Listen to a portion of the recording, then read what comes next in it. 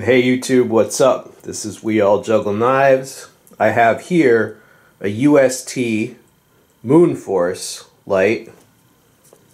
It's about a 20 lumen light, very bright, very compact. And I have here a Countycomm Split Pea lighter. I don't know if this is full, but I'll demo the other one, which I just filled. But I think you know where this is going. Oh yeah. When you get these two alone, you know, things start to happen.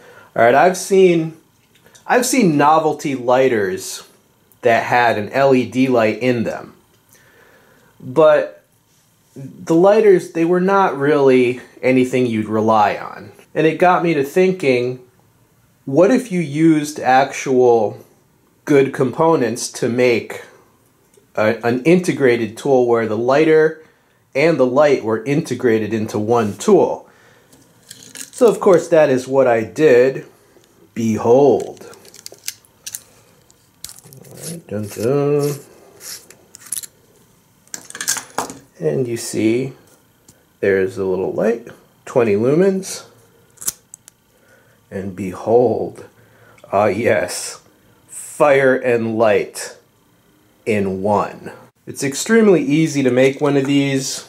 Step one, you take your UST and you take a drill or a Dremel or any sort of power tool and you just cut that little keychain protrusion off and you file that down until it's totally flat, right? Then you take the newly flattened part and you join it together with the bottom of the lighter. Now, get some strong adhesive, crazy glue or whatever you have, right? And you know, set it there till it's dry. Then take some electrical tape or whatever grip tape, whatever tape you want, and just make it more secure, right? So join these together, you know, grind that down and then join these together. It's incredibly easy. And you wind up with this. Okay, YouTube, I'm splicing this part of the video in later because I just uh, ground the next one. Uh, so this is what it looks like after you you grind off, uh, you know, that little stud that was there and just, you know, file it down till it's fairly flat. I've also ground the little keychain stud off of the top of this lighter, see? So it looks like, alright, because uh, for this one, I don't intend to use it on a keychain. I intend to put this in like a tiny little kit. And believe it or not, shaving that top part off and that top part off actually saves you one half of an inch, um, which you might not care about, but if you're trying to make a little micro EDC kit, it's pretty cool. So I'm going to make another one of these, a non-keychain version. And I'm back. I have joined those together. Now you can see this is the kit version. That's totally smooth.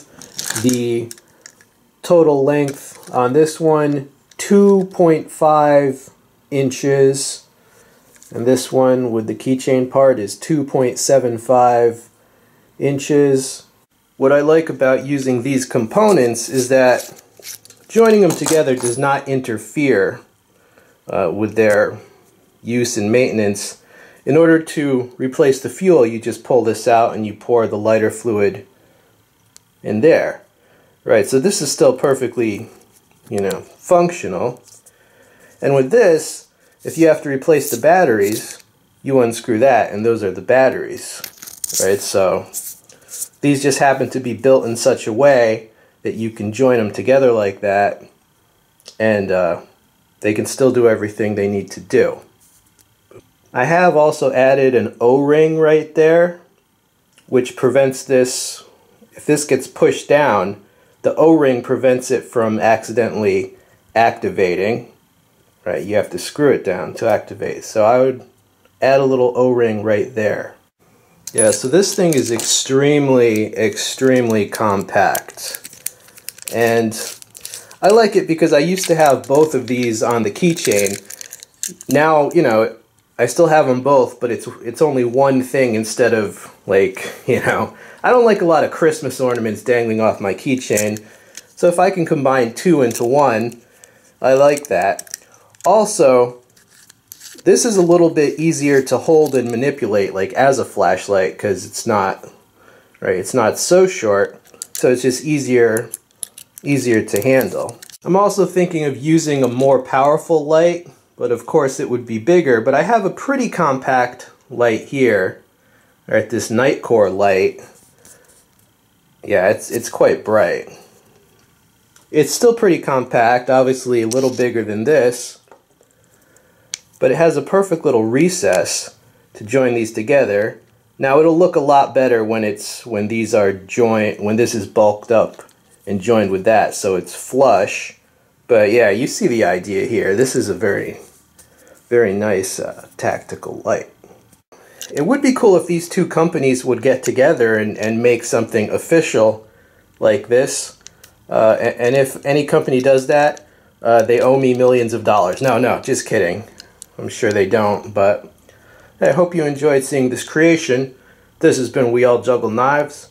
I'm out.